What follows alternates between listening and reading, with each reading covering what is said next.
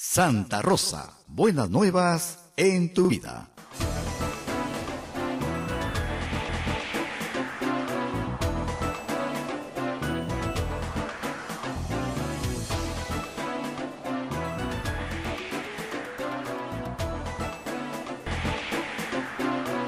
Bueno, y estamos en comunicación con la doctora Rosa Mavil, estábamos hablando de qué se puede hacer, yo sé, usted ya eh, abandona su puesto, no abandona su puesto, termina su mandato, y, deja este legado, en realidad, de, de preocupación.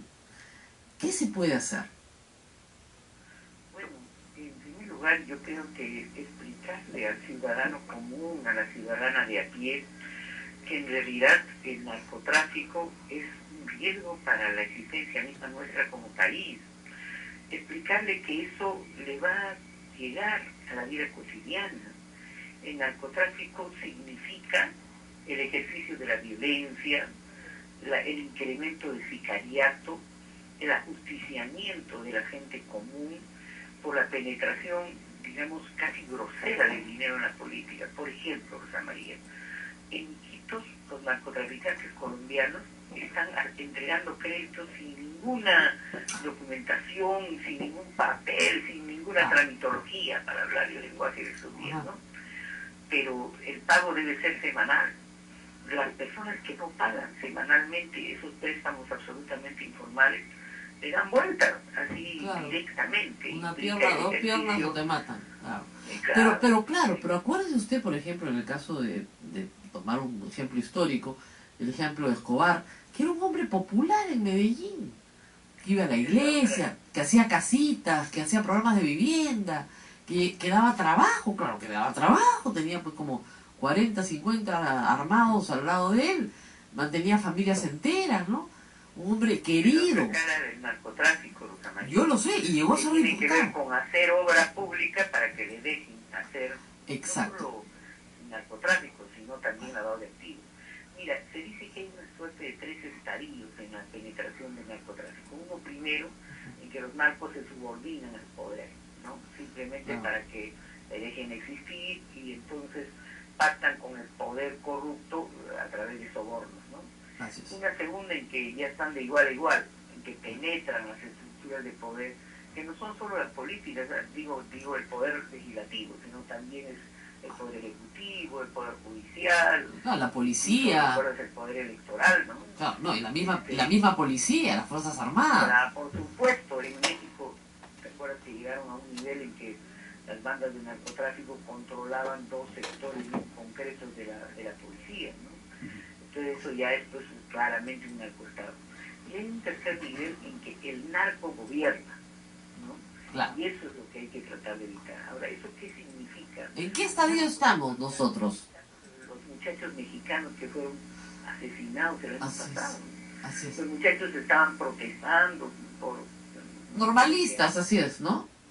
y, y porque eh, supuestamente la protesta se confundió contra la esposa del alcalde, los asesinaron, así eh, los ejecutaron extrajudicialmente. Entonces, Así es. implica un poder, una concentración de un poder que no es solo político, sino es militar y un avasallamiento total del Estado de Derecho. Implica también la difusión de la adicción, Rosa María. Yo estoy trabajando en tesis doctoral sobre criminalidad juvenil Ajá. la principal causa de la transgresión juvenil es eh, eh, la, la adicción al consumo de drogas. En la cárcel, la forma como controlan los taúdes, los taitas Ujú. a la población penal Mm. es a través de la adicción de todos Ah. los internos. Entonces, la, la adicción pues te, te crea toda una Dependencia, claro. criminal, ¿no? Lógico, Entonces, una dependencia que te obliga a robar, a matar para obtener la droga, ¿no es cierto? Claro, que hace que hay, hay presos que le llaman lacra, que ya no tienen nada que vender sino su cuerpo porque son adictos, entonces se prostituyen para obtener drogas. Entonces, todo lo que tiene que ver con la violencia urbana, los chicos dicen se drogan para robar o roban para drogarse.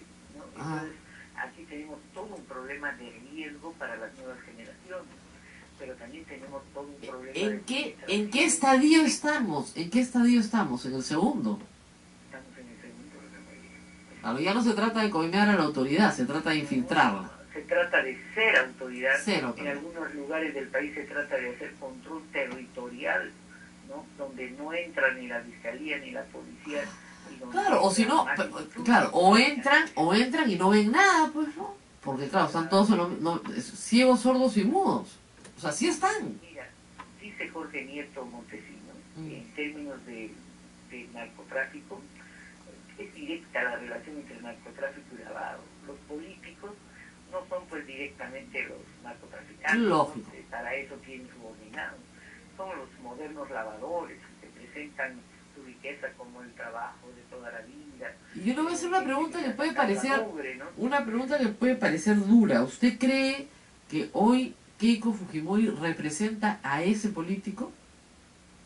Mira, yo creo que en el partido de Keiko Ajá. Fujimori hay indicios muy serios de lavado de. ¿No? Yo creo que en la relación con el narcotráfico nos estamos enfrentando con una forma de corrupción de lo público y de lo político muy especial, que tiene estructuras de diversa raigambre, tiene, como decíamos los políticos viejos, tiene trabajo abierto, clandestino y cerrado, ¿no? Claro. este, y por eso eh, implica un quiebre pues en el proceso democrático no Bueno, por ejemplo puede incrementar el homicidio la tasa de homicidio que llega a nivel o sea, no, no es, claro, al, al contrario de lo que se piensa, esto no es una garantía para la seguridad, es una garantía, o sea, es una garantía para la inseguridad permitir que esto suceda. Así es. porque el narcotráfico pasa de un primer momento que es control de rutas luego a control de ciudades de pequeños pueblos después ya pasa pues al control del territorio y después a la captura del gobierno local de la captura del gobierno local a la captura de toda la sociedad Bueno, Por eso en tema de narcotráfico, Rosa María, mm, se trata una línea, ¿no? Es el Rubicón. Quienes están a favor de callar, de apostar por el silencio, la paz narca, apostar por que inviertan hasta en el Estado en obras civiles, en diversificación productiva con dinero procedente de lavado de activos. usted ha hecho una frase, una frase que me parece, me lo voy a robar. No a la Pax Narca. Claro, la Pax Romana era la que imponía pues el imperio, ¿no? La Pax Narca. Bueno, doctora, yo le agradezco El muchísimo. narco. El silencio narco, claro. Irá, eh, yo me imagino, yo me imagino que usted, pese a todo, va a votar por Pedro Pablo Kuczynski. Sí, voy a votar, yo ya lo he dicho públicamente, voy a votar y ojalá que su programa económico tome en cuenta los intereses de los de abajo, que Claro. Pese a todo, pese a todo, mira, aunque no usted es es una una, hipoteca, Rosa María. Así es, No pese a que usted es una militante orgánica de la izquierda peruana, o del Partido Socialista, usted va a votar por PP. Llamaría a votar, o sea, yo no creo, Rosa María, que hay que estar, no, pero sí, que sí, como dice el bolero, ¿no? Así está la izquierda ahorita. Por. Sí, ahorita está la, izquierda más, la izquierda más dura, le digo, la izquierda más dura está diciendo, mejor agudizamos las contradicciones, así nos fortalecemos en la oposición, ¿no es cierto? Pero eso sería de existir un pragmatismo electoral que no piensa en el país. Bueno, Porque además, Rosa María, votar por PPK no va a significar que no seas oposición después. claro, es una tregua solo el 5, es una tregua del 5 de junio, nada más, listo, ahí acabó. No, es firmar un acta de sujeción, como lo hemos dicho. Yo también digo, es la tregua del 5 de junio. ¿Logrará Kuczynski la tregua del 5 de junio con todas las fuerzas de oposición? Eso es lo que está... además está el tema mediático, lamentablemente, Rosa María. ¿no? Están pasando algunas cosas raras en los medios. ¿ah? Periodistas históricas que son sacadas de medios de opinión importantes. Bueno, ¿qué me va a decir a mí? este, personajes que dirigen programas de opinión, Sí, mujeres que son cambiadas por, por otros operadores, que son... Bueno, le digo, así pero al contrario, el, el- el grupo fujimorista acusa más bien a la prensa, en general, de ser su opositora. Entonces, este, eh, eh, ese es- así es. No necesitan, en algunos casos sí, estamos de acuerdo. Bueno, Agrandan unas cosas, achican otras, otras. desaparecen otras, así es. Bueno, muchísimas gracias, muchísimas gracias por su participación hoy y efectivamente me uno a su preocupación, este, que es una preocupación yo creo sincera y que es extendida a todas las familias del Perú. O sea, por el amor de Dios, nadie quiere tener un adicto en su casa. ciudadanos de a pie que piensen en las nuevas generaciones, Así es. que no podemos llegar a ser Colombia ni menos México, ¿no? Que nuestra apuesta por el crecimiento económico no puede mancharse con el dinero negro procedente del narcotráfico, que eso trae violencia, sicariato, adicción, eso cambia los parámetros de un ejercicio democrático del país. Así es. Muy bien, muchísimas gracias, doctora Rosa Mavila. Este, la veremos, estoy seguro, en muchas marchas y en muchas luchas todavía. Gracias por estar. Gracias por estar con nosotros. María, buenos días. Ah, buenos días.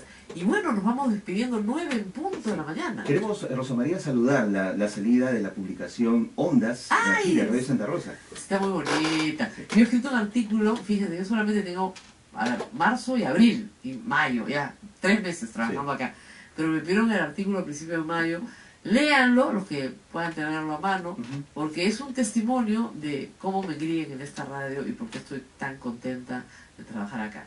¿no? Este, alguien me dijo, pero ganas menos. Sí, probablemente gano 10 veces menos, pero soy 10 veces más feliz. ¿Ah? qué buena, qué buena. De verdad, acá, acá todos son bien felices.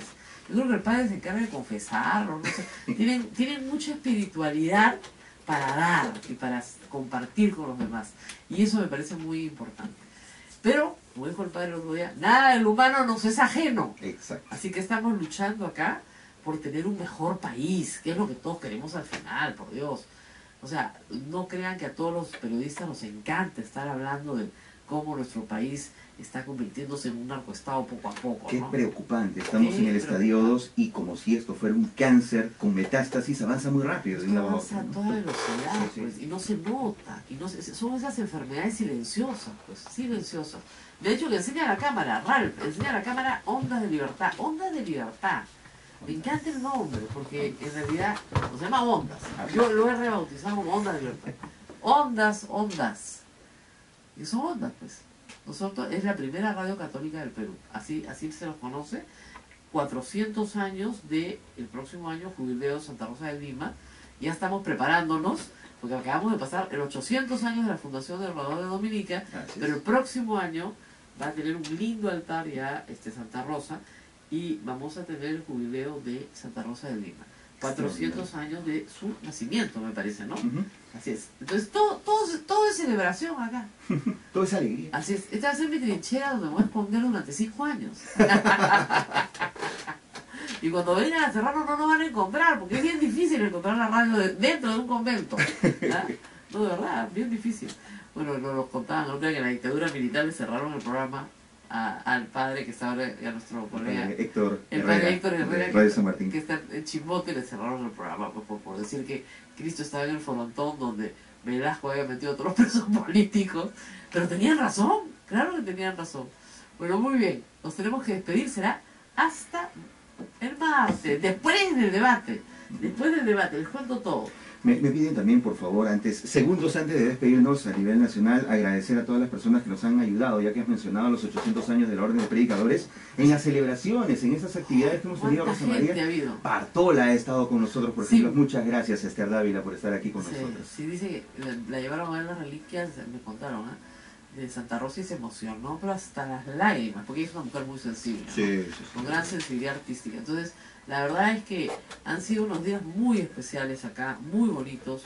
Y yo también quiero agradecer a toda la prensa, a toda la prensa que vino a cubrir este todo este acontecimiento, porque nos han dado este una gran apertura en todos los medios de comunicación para atraer, atraer a la gente Sí. a, a aquí, que es uno de los sitios más lindos. Miren, David Aguataz estuvo ahí conmigo con la boca abierta, no conocía. Ah, lo llevaste. Al patio, por lo menos, ¿no? Al primer. ¿eh? al primer patio, porque él estaba apurado yo también, y se quedó así con la boca abierta. Yo no conocía esto. Hace 10 años que trabajas en el Congreso, que está a cuatro cuadras, y no conoces el sitio más bonito del centro de Lima. Se quedó así, ¿no conoces esto? Esto es una, esto es una maravilla. Sí. ¿ya? Y además, si viene el terremoto, ya salimos corriendo, chicos, y nos agarramos todo de la fuente. Pues esa fuente tiene 400 años ahí, Y no se ha caído. y no se ha caído. Bueno, y en el interior del país pueden visitar también los conventos y sedes dominicas en sus respectivas localidades porque también hay cosas maravillosas. por- Arequipa, por ejemplo, el convento Santa Catalina es dominico. Sí. Eh, ay, yo no sé, me, me dice el padre Daniel Botella, paso, que tienen cosas grandes. Claro, un día vamos a hablar ya cuando pasen las elecciones, de la historia de los dominicos en el Perú, porque es una historia fascinante, pero fascinante. Con la apertura a la prensa se habló un poco de eso, Sí. el padre Javier contó un poco la historia, es fascinante todo lo que se ha hecho, sobre todo en misiones, en, en irse, imagínense ustedes, a lugares completamente alejados de poblados, como dicen, dejados de la mano de Dios, a llevar la palabra de Dios en medio de la nada. Lo que es las misiones, por ejemplo, ¿no? En el interior del país, en la selva. En la selva, que hasta ahora está, que hasta ahora se sostienen y por eso están ahí Radio Cepagua, Ujú. Radio Madre de Dios, Radio Quillabamba, que son nuestras En- voces. En, en el Cusco, en medio de tanta maravilla natural que tenemos, eh, ahí está el Coricancha, por ejemplo. Así es. El Coricache Dominico. Sí. Imagínense ustedes. Bueno, los dejo porque tengo que correr a, hacer, a ganarme la vida con otra cosa que otros no hacen. a conseguir mi sustento. Nos vemos el día martes. Chao, Adiós. chao, nos vemos.